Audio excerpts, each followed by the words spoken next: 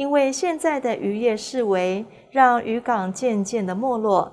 艺术家潘翠玲，她用自己的特长绘画，将台湾每一个渔港记录下来。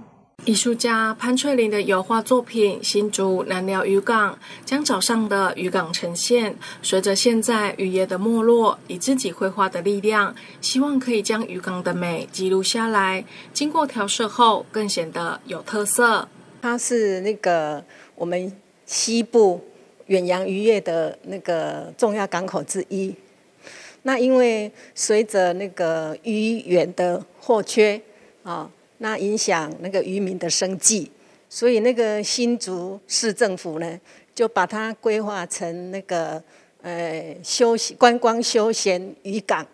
然后我是因为这个渔港，我对它就是有兴趣啦，哦，就把它画下来。那它也是我计划那个画渔港的系列之一啊。我目前已经完成两幅，就是希望把那个台湾的。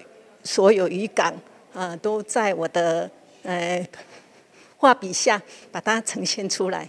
作品当中的立体感跟整体的色彩深度，让人眼睛为之一亮。他表示，将生活艺术化，把艺术放到生活当中，缩短人与人之间的距离，可以让每个人透过画作将身心灵放松。